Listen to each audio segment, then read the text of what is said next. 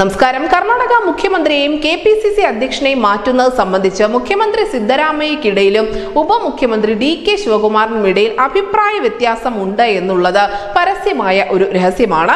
എന്നാൽ ഇവർ തമ്മിൽ മാത്രമല്ല മറിച്ച് ഈ വിഷയത്തിൽ ഹൈക്കമാൻഡ് നേതാക്കൾ തമ്മിലും അഭിപ്രായ വ്യത്യാസം രൂക്ഷമാണ് എന്നുള്ള റിപ്പോർട്ടുകൾ ഈ മണിക്കൂറുകൾ പുറത്തു വരുന്നുണ്ട്. സിദ്ധരാമയ്യ പ്രതിപക്ഷ നേതാവ് രാഹുൽ ഗാന്ധിയുമായി കൂടിക്കാഴ്ച നടത്തിയപ്പോൾ D K Shivakumar A I C C അധ്യക്ഷനായ മല്ലികാർജുൻ ഖാർഗെയുമായാണ് കൂടിക്കാഴ്ച നടത്തിയിരിക്കുന്നത്. രണ്ട് യോഗങ്ങളിലും എന്താണ് ചർച്ച ചെയ്തത് എന്നുള്ള വിവരം ഇതുവരെയും കോൺഗ്രസിന്റെ വൃത്തങ്ങൾ വെളിപ്പെടുത്തിയിട്ടുമില്ല. ആഭ്യന്തരമന്ത്രി ഡോക്ടർ ജി പരമേശ്വരയാണ് സിദ്ധരാമയ്യയും രാഹുൽ ഗാന്ധിയും തമ്മിൽ രഹസ്യ യോഗം നടന്നു എന്നുള്ള വിവരം മാധ്യമങ്ങളെ അറിയിക്കുന്നത്.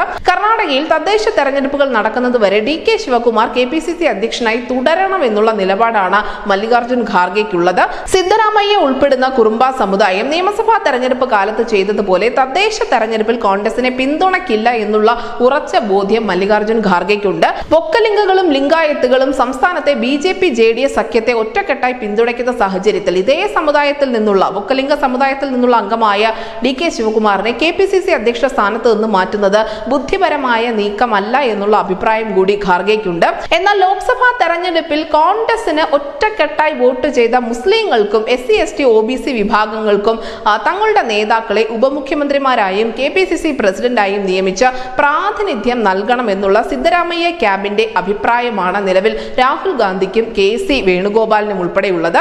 പട്ടികവർഗ നേതാവും സിദ്ധരാമയ്യയുടെ വിശ്വസ്തനുമായ പി ഡബ്ല്യു ഡി മന്ത്രി കൂടിയായ സതീഷ് ജാർക്കിഹോളി തന്റെ മന്ത്രിസ്ഥാനം ഉപേക്ഷിച്ചുകൊണ്ട് താൻ കെ പി സി സി അധ്യക്ഷ പദവി ഏറ്റെടുക്കാൻ തയ്യാറാണ് എന്ന് അറിയിക്കുക കൂടി ചെയ്തിട്ടുണ്ട്. മുൻ മുഖ്യമന്ത്രിയും ലിംഗായത്ത് നേതാവുമായ ബി എസ് യെദ്യൂരപ്പയുടെ മകൻ B V Vijayendra B J P സംസ്ഥാന അധ്യക്ഷനായിരിക്കെ. കോൺഗ്രസ് പഞ്ചമസാലി ലിംഗായത്ത് പോലുള്ള ഒരു ഉപവിഭാഗത്തിൽ നിന്നുള്ള നേതാവിനെ ആ സ്ഥാനത്തേക്ക് തെരഞ്ഞെടുക്കും എന്നുള്ള അഭ്യൂഹങ്ങളും വളരെ ശക്തമാണ്.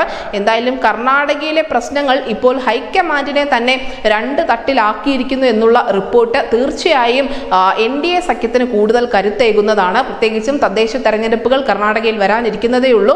ഈ സാഹചര്യത്തിൽ അവിടെ എന്ത് മാറ്റം ഉണ്ടായാലും അത് തെരഞ്ഞെടുപ്പിൽ പ്രതിഫലിക്കും എന്നുള്ളത് വളരെ ഉറപ്പുള്ള കാര്യം തന്നെയാണ്. അതുകൊണ്ട് തന്നെ ഈ വിഷയത്തിൽ സിദ്ധരാമയ്യയും ഡി കെ ശിവകുമാറും പലവിധ സമ്മർദ്ദ തന്ത്രങ്ങൾ പ്രയോഗിച്ചുകൊണ്ടിരിക്കുന്നതിനിടയിൽ ഹൈക്കമാൻഡിൽ തന്നെ അഭിപ്രായ വ്യത്യാസം രൂക്ഷമായിരിക്കുന്നു. ഇനി കെ സി വേണുഗോപാൽ ഉൾപ്പെടുന്ന രാഹുൽ ക്യാമ്പ് ആണോ? അതല്ല പാർട്ടിയുടെ ദേശീയ അധ്യക്ഷനായ മല്ലികാർജുൻ ഖാർഗെയുടേതായിരിക്കുമോ അവസാന വാക്ക് എന്നുള്ളത് മാത്രമേ അറിയേണ്ടതുള്ളൂ. നിലവിൽ എന്തായാലും കർണാടകയിലെ വിഷയങ്ങൾ ഹൈക്കമാൻഡിനെ ഉലച്ചിട്ടുണ്ട്. ന്യൂസ് ഡെസ്ക് ന്യൂസിന്റെ മലയാളം.